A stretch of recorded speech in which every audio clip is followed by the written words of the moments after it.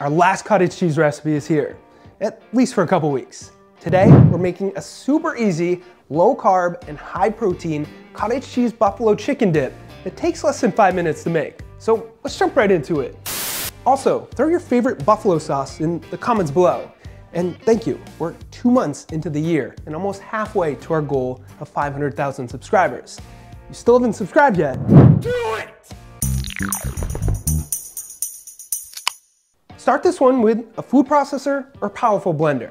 Add right into it one and a half cups of cottage cheese, three ounces of a low sodium buffalo sauce, and one and a half tablespoons of a ranch seasoning mix. If you don't have access to a ranch seasoning mix, I'll put the ingredients on how to make your own on the website, which is always linked up here or below in the description. You can also find metric conversions for everything there as well.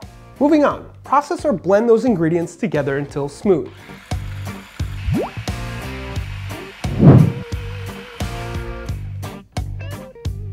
Continue by adding in half a cup of cheddar or other cheese of your choice, just make sure it complements the buffalo flavor, and 10 ounces of a cooked chicken. I like using either some shredded up rotisserie or canned. Yeah, canned chicken works great for this one, and it's cheap. Mix everything together. I do it right in my food processor to save some cleanup time. From here, choose how you'd like to prepare it and take out either a microwave or baking safe dish. If you're making this in the microwave, all you need to do is to pour your mix into your dish, microwave it for around 45 seconds, depending on how powerful your microwave is. Mix everything around and repeat until your dip is hot enough for you. If you're making this in the oven, you'll want to coat your dish with some non-stick cooking spray, then pour your mix in. You can optionally top it with a little more shredded cheese for aesthetics, then bake it on 350 for around 30 to 35 minutes. The air fryer works great too, just make sure to drop the cooking time. In the end, it should look like this.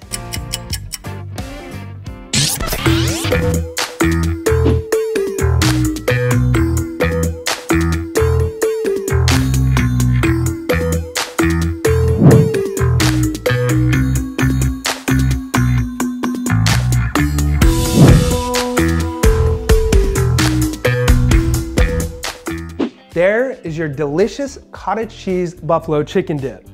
You can eat this with chips, fresh vegetables, on a sandwich, in a wrap, with rice or quinoa, and so on. It's a great way to get some quick protein in. A few more tips for this one. Number one, fat-free, reduced fat, or full fat ingredients will all work here. So use whatever ones fit your macros for the day.